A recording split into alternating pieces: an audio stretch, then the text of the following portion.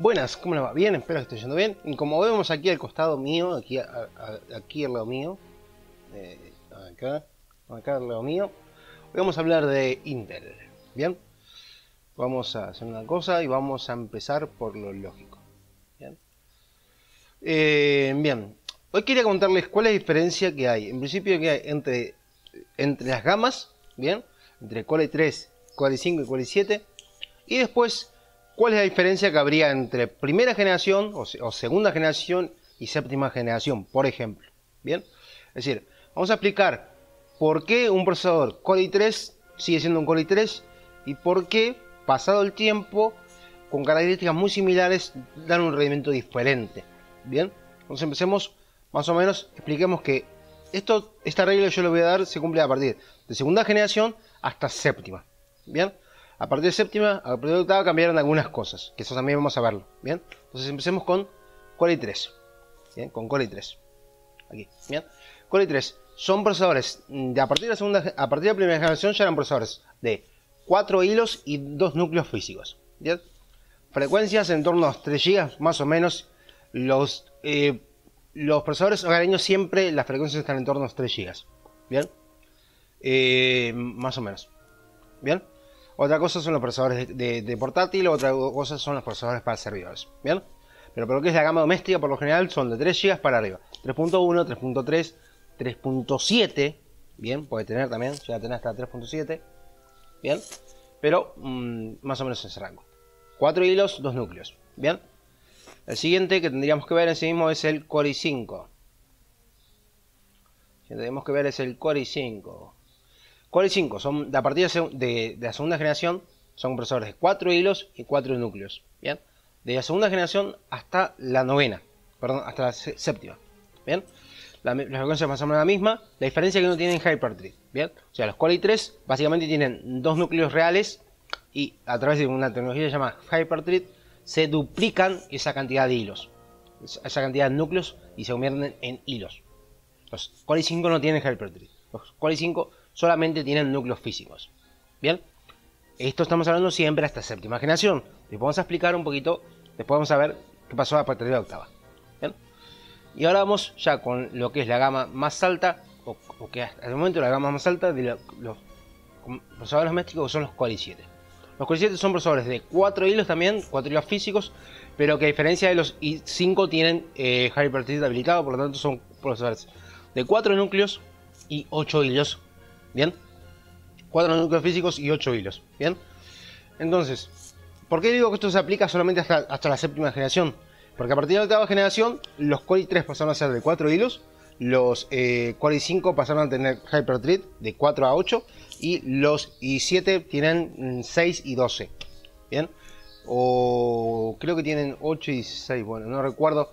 No estoy muy al tanto de lo que son las generaciones actuales, más actuales de Intel no me interesan porque no, no estoy tan al tanto. Pero bueno, esto obviamente pasó, llegó un momento que tenían que hacer eso. Pues ya, ya, ya como que estaba un poco ya mm, durante, ¿cuánto? Casi 10 años más o menos. Más o menos casi, sí. La primera generación creo que es 2011, una cosa así. Durante 7 generaciones, durante, sí, durante, básicamente durante seis generaciones, eh, Intel mantuvo una estructura fija de procesadores. No se subieron ni, los núcleos, ni la de núcleos, ni la cantidad de hilos. Bien, pero entonces, ¿qué es lo que cambia? Por lo cual, un, por ejemplo, un procesador Core i5 de segunda generación tiene un rendimiento menor que un procesador Core i5 de séptima generación. ¿Cuál es la diferencia? Si pusiéramos equiparables, ¿no? si pusiéramos un Core i5 2400 a 3.3 y un procesador Core i7 un procesador Core i5 de, séptima generación a 3.3 también, por ejemplo. ¿Por qué el, de séptima generación da mejor rendimiento que el de segunda? Bien. Y ahí tenemos que explicar, primero que nada, proceso de fabricación. Ahí lo que influiría sería el proceso de, los procesos de fabricación y la optimización del procesador. Bien. Entonces, la, em, la segunda generación, por ejemplo, se fabricó en 45 nanómetros. Bien. Nanómetros es es una unidad muy muy pequeña, muy muy pequeña y es el tamaño del transistor. Bien, es una unidad, creo que está, eh, creo que en un centímetro entran como 1000 nanómetros, una cosa así, lo cual es muchísimo espacio. Bien, y más también, perdón, en un milímetro entran como 1000 nanómetros, una cosa así. Bien, entonces, eh, o sea, em, y segunda generación, 45 nanómetros. Y actualmente estamos en 14 nanómetros. Se pasó de 45 a 14. Entonces, puedes poner, al achicar tanto el espacio, puedes meter, en, la misma, en el mismo espacio puedes meter muchos más eh, transistores. ¿Bien? Esa es la diferencia. ¿Bien? Pero eso no es la explicación mismo. A ver, con ese proceso de cuando se fue refinando, cuando se va refinando el proceso de fabricación, lo que se hace es que se mejora el IPC. Básicamente las eh, lo que sean los cálculos por eh, se mejora el IPC que sería el bueno los cálculos por, por, segundo serían básicamente no entonces 3 eh, con 3 pongamos lo mismo. Por ejemplo dos, de, un Core i5 de segunda generación 4 hilos físicos a 3.3 bien la memoria de hecho sería la, caché, lo extraño es que la caché sería la misma, por lo tanto la caché no cambiaría tampoco. Y lo que cambia en sí mismo es, es que tienen, los de séptima generación tienen un IPC mayor, ¿bien? Pongámosle, recordémoslo, de 45 nanómetros, o sea, de segunda generación se pasó a tercera generación que estaba en el mismo socket, ¿bien? El mismo socket. Y un Core i5, un Core i5 de segunda generación rendía un 15% más o menos por debajo de un i5 de tercera generación. ¿Por qué? Porque se mejoraron los ciclos por segundo, eso es lo que nos salía. IPC es ciclos por segundo, básicamente. ¿Bien? Un procesador a menor de, o sea, con, con un IPC, con una fabricación de menor tamaño, da más, un mejor rendimiento. Es una cuestión de optimización, básicamente. ¿no? Se obtiene más ciclos por segundo que generaciones anteriores. Bien, entonces por eso es segunda generación más o menos un 15% rendimiento, 15-20%. Bien, eso obviamente eso no es escalable totalmente, no quiere decir que de segunda generación a, séptima generación haya un 100%. Bien, porque acá son 5 son cinco generaciones, entonces 5 generaciones a 20% serían 100%. No. Un i5 de, de séptima generación no va a rendir un 100% más que un i5 de segunda va a rendir solamente un 40, entre un 40 y 50%. ¿Bien? Porque los saltos entre generaciones mmm, llega un momento que se van reduciendo. ¿Bien? Llega un momento que se van achicando. ¿Bien? Entonces, porque obviamente con la misma cantidad de núcleos llega un momento que la eficiencia ya no, no puedes achicar más y ser más eficiente. ¿Bien? Y por eso es que se tuvo que cambiar de la cantidad de núcleos y por eso es que la octava generación se agregaron más núcleos, más cantidad de núcleos. Bien. Eh, esa sería básicamente la diferencia. La, gran diferencia sería esa.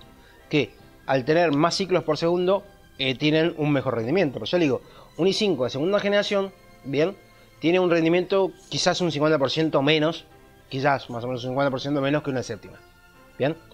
Detalle que ya, en este caso, por ejemplo, si quisiéramos comparar de octava generación, tendríamos que comparar un i5 de segunda generación, tenemos que comparar con un i3 de octava. Bien porque tienen la misma cantidad de núcleos y van a tener más o menos las mismas velocidades de reloj. ¿Bien? Entonces, por eso es que a día de hoy hay procesadores de tercera generación, por ejemplo, como el 3770 o como el, de cuarta generación, como el 4770K, de, que es un Core i7, ¿bien? Son procesadores de 4 hilos y, perdón, 4 núcleos y 8 hilos físicos, que a día de hoy todavía están dando muy buen rendimiento. ¿Por qué?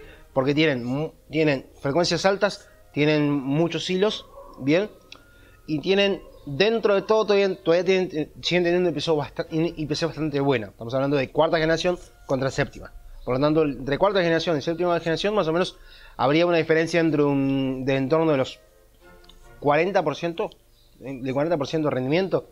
Entonces, un 4770K con un overclock bien, un overclock bien agresivo va a estar al mismo rendimiento que, por ejemplo, va a tener el mismo rendimiento exacto que un Core i5 de séptima generación. ¿Bien? O que a día de hoy un Core i3 de octava generación. ¿Bien? Entonces, por esto es una explicación de por qué yo recomiendo eh, generaciones anteriores. ¿Bien? Porque si bien soy consciente que tiene menor rendimiento, sigue siendo un rendimiento bastante bueno al día de hoy, todavía sigue siendo bueno al día de hoy. Entonces, de hecho, mi idea es en algún momento para armarme una PC con un, con un i3 3770, de ser posible si encontrar un 3770K, bien, para hacer un poco de overclock, pero si no, igualmente un 3770K o un 3770 normal serían 4 hilos y 8 núcleos físicos, perdón, 4 núcleos físicos y 8 hilos.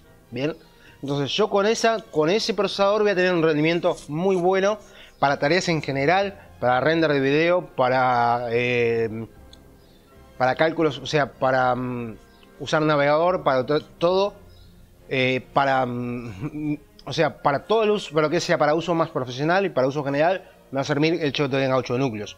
Bien, y quizás de esos 8 núcleos para jugar yo solamente utilice 4 o 6.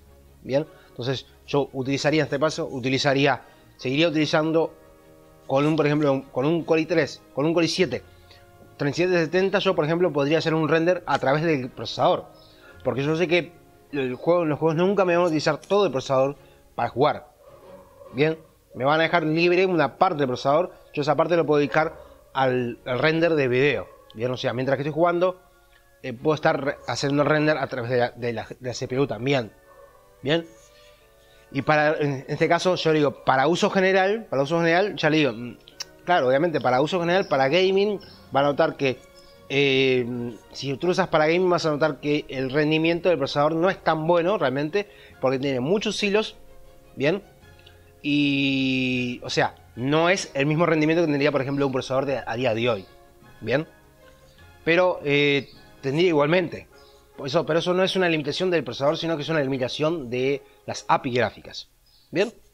Y bueno, y eso más o menos sería todo. Mm, a día de hoy todavía, ya le digo, resumiendo, a día de hoy, segunda generación, tercera generación, cuarta generación todavía vive y lucha, porque siguen teniendo, mm, a día de hoy siguen teniendo mm, buena cantidad de hilos y de núcleos, ¿bien? Y a día de hoy también siguen teniendo, todavía siguen teniendo frecuencias altas. Y si conseguimos alguno que sea versión K, subiéndole esas frecuencias podemos compensar el IPC porque tenemos frecuencias más altas. ¿bien? Y en el caso del gaming serviría mucho más. Bien, sirve más.